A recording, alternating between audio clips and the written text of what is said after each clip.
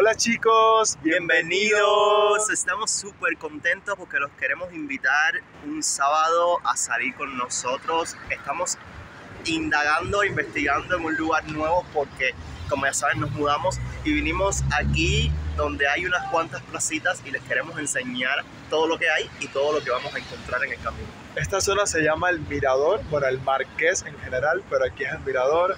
Digamos que es lo más atractivo porque vienes y encuentras comida, ropa, maquillaje, lo que sea, y nosotros particularmente necesitamos unas cositas como un perfume que no tenemos, algo para la mascota de la persona donde vivimos, una gatita, vamos a buscar ahí un juguetito, eh, algunas cositas así necesarias y quiero que nos acompañen, también vamos a comer, les estaremos contando cómo nos estamos adaptando a nuestra nueva vida aquí y la verdad vean, aquí hay una placita atrás y aquí se ve la ciudad de Querétaro que está hermosísima, así que bueno, ya, ni hablemos más, vengan con nosotros y vean el video hasta el final.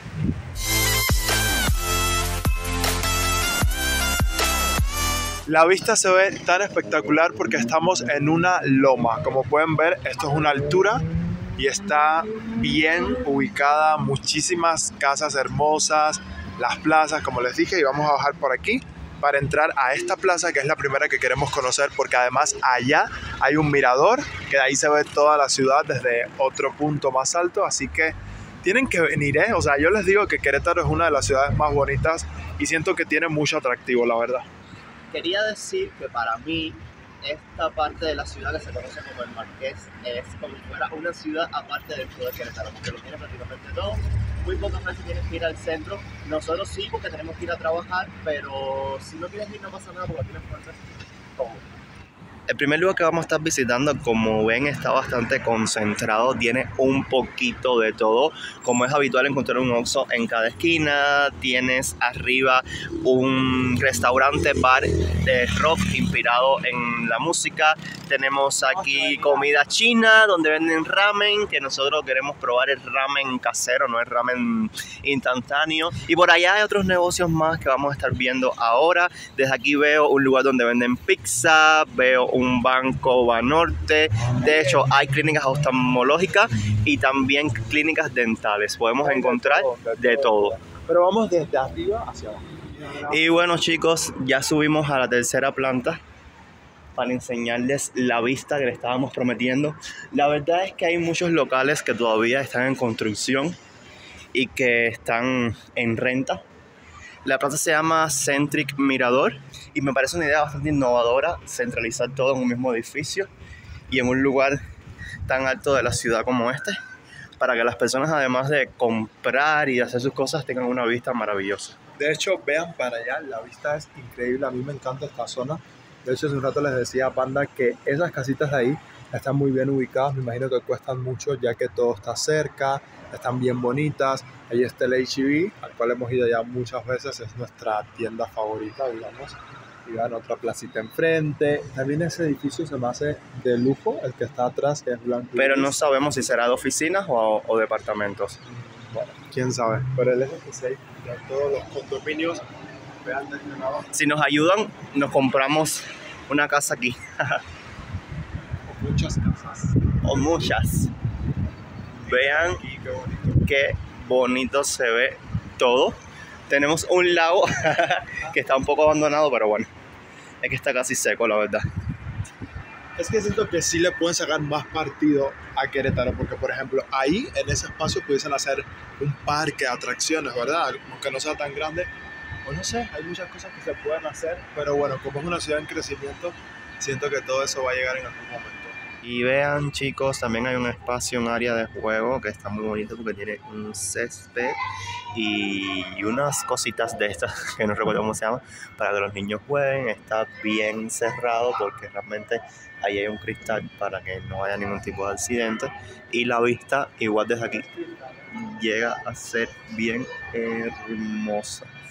Sí siento que le pudiesen sacar más partido a esto, de pronto sé que hubiesen atracciones así como vender chuches o refrescos, palomitas, o una musiquita infantil. Siento que eso hace falta y así la gente se motivaría más y más en estos fines de semana donde quiere salir con el niño, a pasar y todo, sí siento que eso le faltó al lugar y por eso encima no nos vamos a quedar, porque somos grandes y no nos vamos a subir ahí. Yo sí me voy a subir.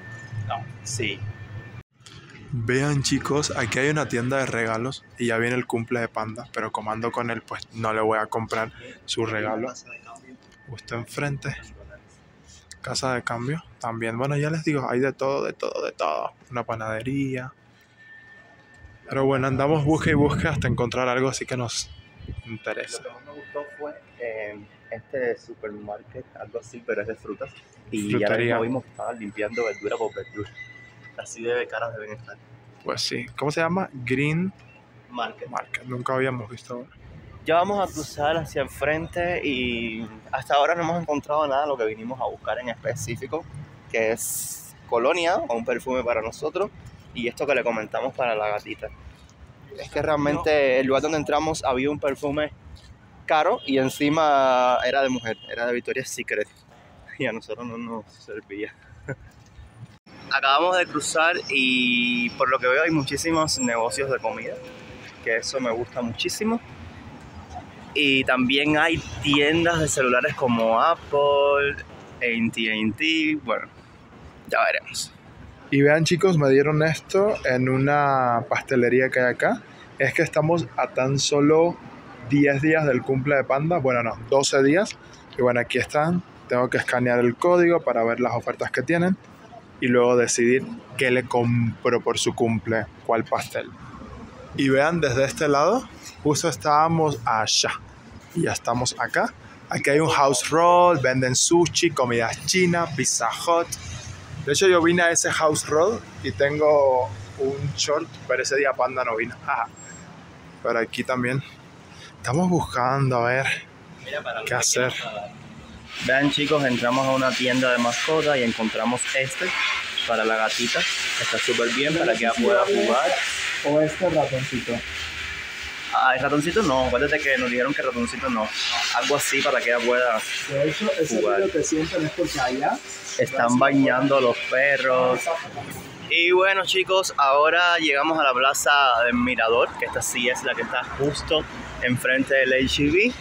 Y por lo que puedo apreciar, tiene un poquito más de vida que la otra, porque es que la otra todavía tiene muchos establecimientos vacíos que están en renta. Y vamos a ver qué nos encontramos aquí. Y encima tenemos un hambre de la. Y hay que encontrar algo rápido. Pero mira, hay una que se llama Trattoria La Nonna, eso es de comida italiana.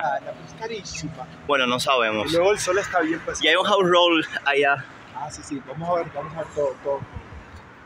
Vean qué bonito, aquí se ve todo bien colorido, la planta se ve bien cuidada. Un Tenemos un gym, un dentista, una óptica, hay de todo.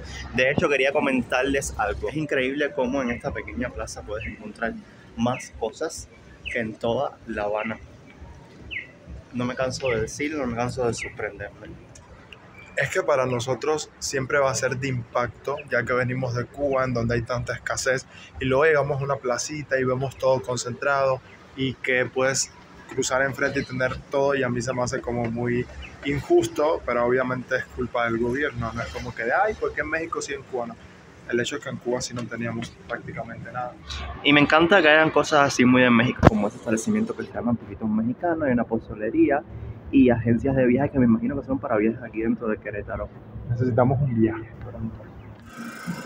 Chicos, nos acabamos de sentar en un lugar, vean, Está bien bonito bien y tradicional, porque está inspirado en todo lo tradicional de México y además de Querétaro.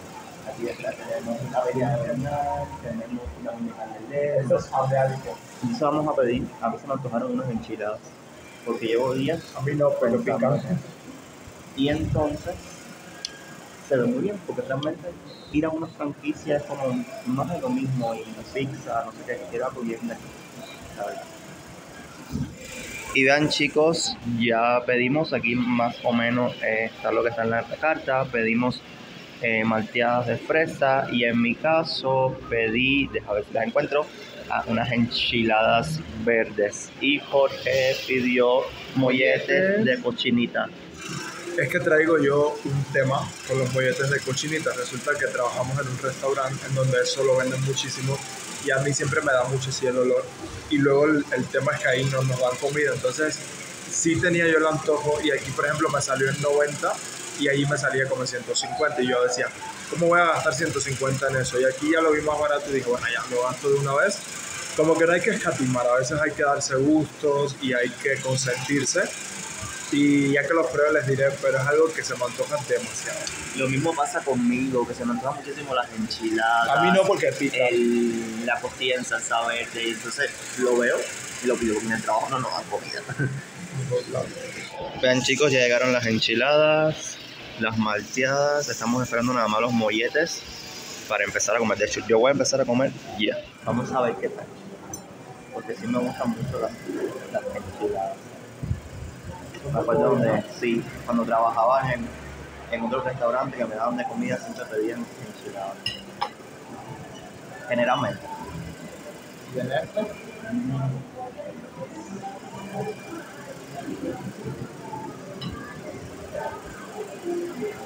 También ricas. Y vean mis molletes, son con cochinita pibil. Bueno, no, pibil no, con cochinita, pico de gallo. Y me encantan a mí los molletes. Vean chicos, ya llegó la cuenta, fueron 295 pesos, está bastante bien en el sentido de que uno va a otro lugar y se gasta 300 pesos y no se llena. Y yo lo veo bien, y además un día es un día. Encima nos regalan caramelitos. Y chicos, hasta aquí el video de hoy, ya vamos para la casa. Esto es básicamente lo que queremos empezar a hacer los fines de semana, salir a dar una vuelta, aunque sea seca, mostrarles a ustedes un poquito de lo que hacemos. Quería decirles que me encantó dar este recorrido, aunque estuvo un poquitín aburrido porque no había música en ningún lugar, pero bueno, ya quizás cuando vayamos al centro o encontremos otro panorama. Creo que sí. Y bueno, lo importante también era conocer la zona porque pasamos mucho por aquí y decimos, ay, ¿qué será esto? ¿Qué será aquello? Ya probamos la comida, ya conocimos las placitas y eso está muy bien. Ahora vean, vamos a montarnos en el camión que próximamente le vamos a estar haciendo un video acerca del transporte aquí en Querétaro o nuestra semana. experiencia con el transporte en México en general. Así que no se lo pierdan, espero que este les haya gustado. Eh, lo estarán viendo en poquitas horas porque apenas lleguemos a casa lo vamos a editar y a estrenar de una vez. Y nada, eso, dejen un like, un comentario y nos vemos muy pronto con el video del transporte. Bye.